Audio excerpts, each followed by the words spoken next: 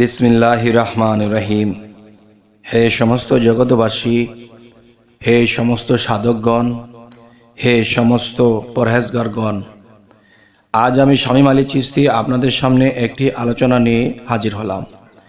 এই আলোচনাটি অবশ্যই গুরুত্ব সহকারে শুনবেন, কারণ এই পৃথিবীতে প্রেমিক জনা কখনই কারও দুঃখ দুর্দশা শুনতে পারে না।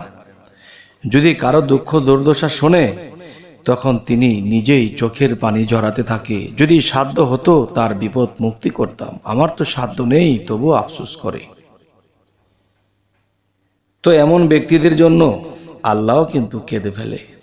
তাই আজ আমি আপনাদের সামনে যে আলোচনাটি নিয়ে এসেছি, যে যদি কেউ চান যে আমি আল্লাহকে আঘাত করব, যদি কেউ চান আমি আল্লাহর মনে কষ্ট দেব তাহলে এই কাজগুলো করুন। কোন কাজগুলো? সেটা আমি বলছি। আর যদি আল্লাহর অন্তরে শান্তি দিতে চান, তাহলে এই কাজটি করুন। যদি আল্লাহর সেবা করতে চান, তাহলে এই কাজটি করুন। সে কাজগুলো কি জানেন? যে প্রথমত বলা হয়েছে, যে আল্লাহকে আঘাত করতে চাইছেন, তাহলে এই কাজগুলো করুন। সেই কাজগুলো হলো কি?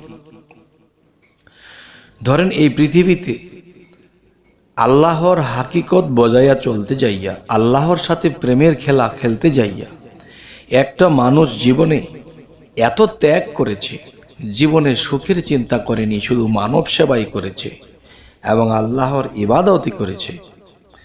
এখন দেখা যায়, এমন একটা ব্যক্তি আল্লাহর অনেক প্রিয় হয়ে আছে। আর আল্লাহ কি বলেছে? আমার প্রেম ও ভক্তিতে যে একাকার হয়ে যায়, পবিত্র হয়ে যায়, আমি তার মধ্যে একাকার হয়ে যাই। তবে এই পৃথিবীতে দেখবেন কিছু মানুষ নামাজ রোজা করতেছে, আল্লাহর ইবাদত করতেছে এবং শরীয়তের আইন মেনে চলতেছে। হঠাৎ করে রাস্তায় একটা পাগল, সে ক্ষুধার্ত, সে একটি জায়গাতে বসে মাথার চোল এলোমেলো, শরীরে ময়লাযুক্ত। সেই পাগলকে রাস্তা থেকে বলতেছে, এই পাগলা, সাইঠো সাইঠো থেকে এসব ভণ্ড সন্ড আসে? এবং ভণ্ড যখন বলল, তখন পাগলা তার দিকে একটু তাকালো।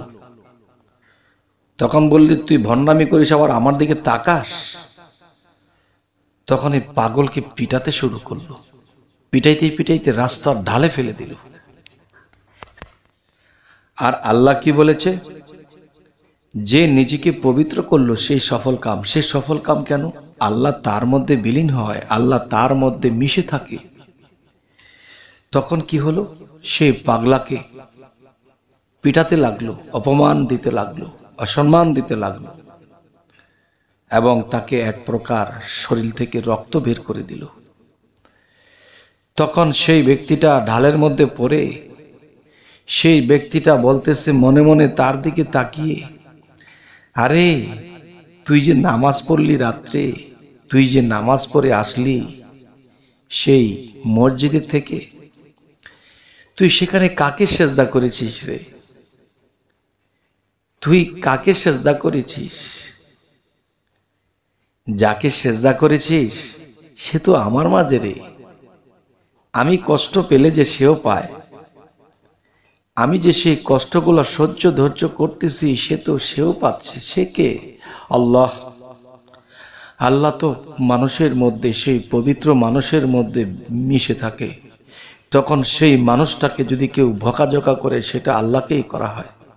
সেই মানুষটিকে যদি কোনো, সেই মানুষটাকে সেবা দিলে আল্লাহ সেবা পায়, সেই মানুষটিকে ভালোবাসা দিলে আল্লাহ পায়, সেই মানুষটিকে যে লাথি মারলো, এটা কে পেল? আল্লাহ তো তার সর্ব অঙ্গে জর্জরিত। আল্লাহ তো তাকে বন্ধু স্বীকৃতি দিয়েছে, আর সেই বন্ধুর মধ্যে তো আল্লাহ বসত করে। এখন তাকে আঘাত করা আর আল্লাহকে আঘাত করা সমান হয়ে গেছে। তো এখন আমি বলব যে সেই পাগলকে যখন ধাক্কা মেরে, থাপ্পড় দিয়ে, লাথি মেরে যখন রাস্তার ঢালে ফেলে দিয়েছে, সে ঢালের মধ্যে গড়িয়ে যখন নিচে পড়ে গেল, সেখান থেকে সে তার বান্দার দিকে তাকিয়ে আছে। যে সেই একটি কথা দেখেন, শরীয়তের কথাগুলো তো অনেকটা লুকিয়ে লুকিয়ে বলা হয়, অনেকটা গোরছাপ করে রাখা হয়েছে। কিন্তু এরকম কিছু হাদিসও এসেছে যে বান্দা আল্লাহর নফল এবাদত করতে করতে করতে করতে এমন একটা পর্যায়ে চলে যায় যে সেই বান্দার চোখ, নাক, কান, মুখ, হাত, সমস্ত কিছু আল্লাহর হয়ে যায়। বাস এতটুকু বলেছি। আর আমি কি বলতেছি? যে পবিত্র কথা বলেছিলেন আল্লাহ যে যে নিজেকে পবিত্র করল সে সফল কাম সফল কাম এই কারণেই তার মধ্যে আল্লাহ বিলীন হয়। বন্ধুর মাঝে আল্লাহ বিলীন হয়। তখন কি হয়? তখন সেই বন্ধুর মাঝে যখন আল্লাহ বিলীন হয়ে আছে, সেই মুহূর্তে যখন কিছু মুসল্লি বা কিছু নামাজি বা কিছু শরীয়তের লোক তাকে আঘাত করল, তাকে ডালে ফালিয়ে দিল। তখন সেই বন্ধুর ভিতরে আল্লাহ ঢুকে বলছে, হে বান্দা, কি করলি রে? তোরা যখন সেজদা করছিলি মসজিদে নববতীর ভিতরে, আল্লাহকেই তো করেছিলি নিরাকার বুঝে।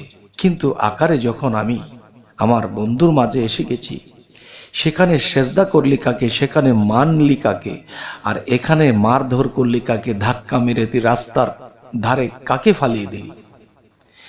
হে সমস্ত জগতবাসী আমরা কিন্তু আল্লাহকে নিরাকারে ইবাদত করি নিরাকার নিরাকারে আল্লাহকে সেজদা করি। কিন্তু আকারে আল্লাহকে আঘাত করতেছি নিজের অজান্তে। হে সমস্ত জগতবাসী আমার এই কথাগুলো বলতে গিয়ে কষ্ট হচ্ছে। যে মুকরম বলেছিল, হে আল্লাহ তোমাকে দেখে সেজদা করতে চাই। সাড়ে নয় লক্ষ বৎসর আমি তোমাকে না দেখে সেজদা করেছি, আজ আমি দেখে সেজদা করতে চাই। তখন আল্লাহ বলেছিল, হে মকরুম, তুমি কি আমাকে দেখে সেজদা করতে চাও?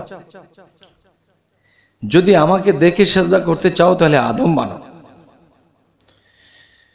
তখন আবার এটাও বলেছিলেন, তুমি যখন আমাকে দেখবে, তখন তুমি আমাকে অস্বীকার করবে, আমাকে তুমি মানবে না।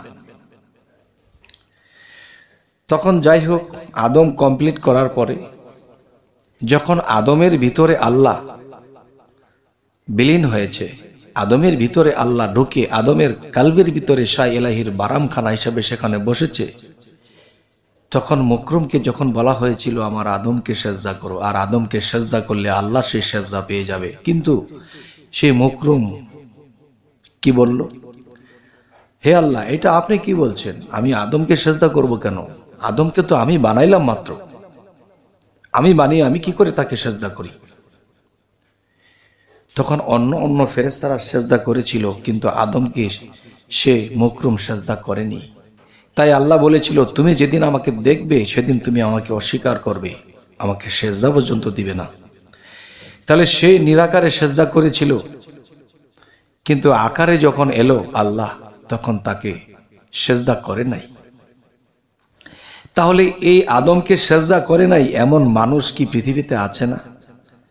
তাহলে যারা আদমকে সেজদা করে নাই, তাদেরকে কি বলা যাবে মানুষ? কারণ আল্লাহর হুকুম অমান্য করেছিল যে আমার আদমকে সেজদা করো। তখন আদমকে সেজদা না করে সে শয়তান হয়ে গেছে যে এখনও যারা আদমকে সেজদা করছে না, তারা কারা? যাই হোক, সেটা আমি বলব না। এখন একটা কথাই বলব। সাধু পুরুষের মধ্যে, সুফি মানুষের মধ্যে, পবিত্র মানুষের মধ্যে আল্লাহ বসত করে। এবং সেই মানুষকে যদি আঘাত করা হয়, সেই আঘাতটা আল্লাহ পেয়ে যায়। হে সমস্ত জগতবাসী জানি না আজকের কথাগুলো আপনাদের কাছে কেমন লাগবে। যদি আপনাদের এই কথাগুলো খারাপ লাগে, অবশ্যই আমাকে জানাবেন। এবং কোন ধরনের আলোচনা আপনাদের ভালো লাগে সেটাও জানাবেন। এবং আমাদের এই চ্যানেলটি যদি আপনাদের ভালো লাগে অবশ্যই সাবস্ক্রাইব করে রাখবেন। পরবর্তীতে যেন আপনাদের কাছে ভালো ভালো আলোচনা নিয়ে আসতে পারি। তো সকলেই ভালো থাকবেন। আল্লাহ হাফিজ।